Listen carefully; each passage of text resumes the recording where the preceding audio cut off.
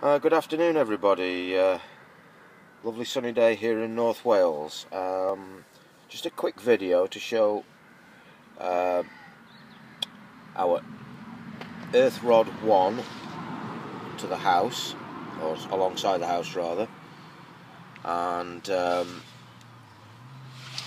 I've used uh, an old extension lead to take up using the earth conductor to pick up rod 2 which is 8 metres up the bank. And um, we've come out popped the voltmeter back on and that is our standing voltage. Now uh, one of my sons is now going to demonstrate what happens when we shock the ground. Okay we'll just get straight onto the voltmeter. In fact you Watch this now.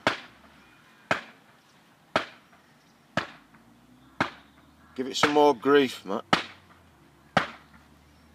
Seismology, I guess.